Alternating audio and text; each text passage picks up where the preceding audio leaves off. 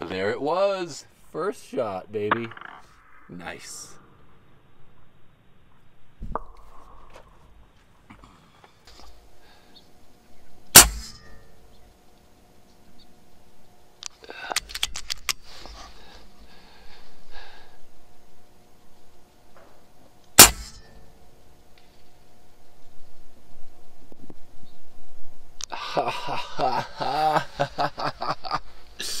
Woo!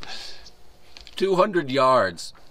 Took me a, a minute to kind of walk it in. I had to use the bush next to it to figure out exactly how far these pellets were falling out there at 200 yards. But once I saw the dust fly on that tree, I knew where to aim and uh, smack that spray paint can.